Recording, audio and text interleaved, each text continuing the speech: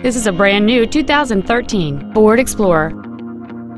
It features a 2.0-liter four-cylinder engine and an automatic transmission.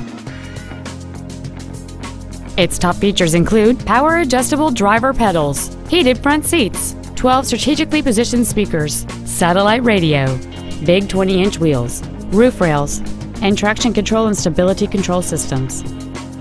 The following features are also included memory settings for the driver's seat's positions, so you can recall your favorite position with the push of one button, air conditioning, cruise control, a rear spoiler, a security system, front fog lights, an anti lock braking system, side curtain airbags, an auto dimming rearview mirror, and the leather seats provide great support and create an overall luxurious feel.